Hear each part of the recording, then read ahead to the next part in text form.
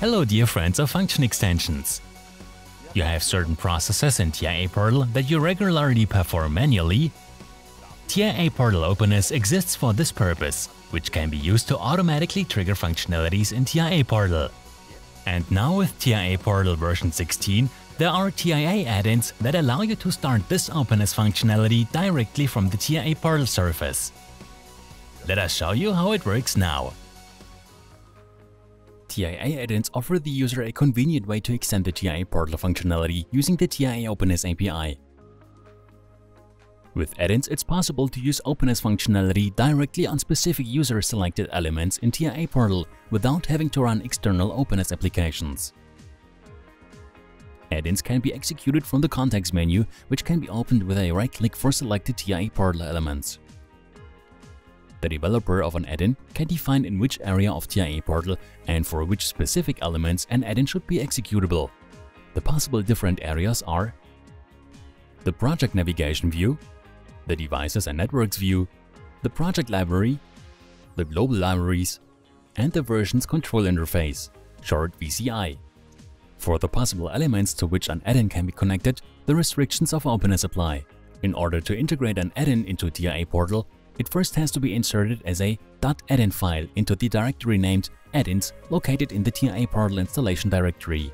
Now we can continue with the activation of the add-in in TIA Portal.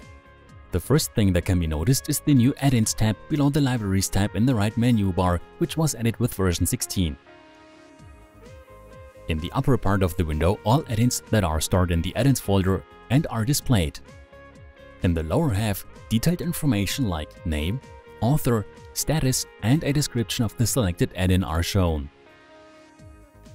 Add-ins must first be activated in order to be executable. This is done by selecting the status attribute. After manually changing the status, a window appears in which the user of the add-in has to confirm the requested permissions of the add-in. If these permissions are not granted, the add-in cannot be activated.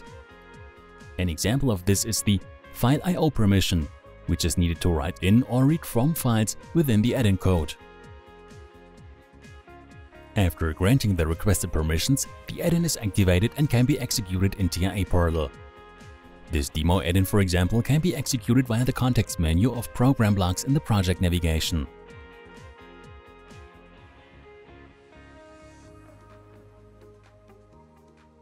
When executing this add-in, only a window with some text is opened. This functionality, however, can be extended by the developer with openness and other Windows functions. Here, the restrictions of the openness API apply. It should be mentioned that multiple add-ins can be integrated and active in TIA Portal at the same time. Let's now move to the development of TIA add-ins. For this, we can use the code of the demo add-in you just saw. An add-in consists of three main elements, two class files and an XML file. In the first class, the add-in provider, you define the area of the TIA portal surface in which you would like the add-in to be executable. This area is defined by the so-called provider. In this case, the project tree add-in provider is used. Thus, the add-in is attachable to elements in the project navigation view on the left side of TIA portal. These providers are also available for the devices and networks view, the project library, the global libraries and the version control interface. In the second class, the actual context menu add-in, you define the object type of TIA portal for which the add-in can be executed as well as the functionality of the add-in. The object type on which a certain action of the add-in can be executed is written between these angle brackets in the method call. In this case, the add-in can be executed on all objects in the project navigation that are accessible via openness. The method call also contains the name of a specific add-in entry, a delegation method that is called when the entry is clicked in the context menu, and a delegation method that defines the display status of the entry in the context menu. The third, also mandatory file is an XML file in which various data and information about the add-in are stored. This data is then displayed in the add-in overview in TIA Portal.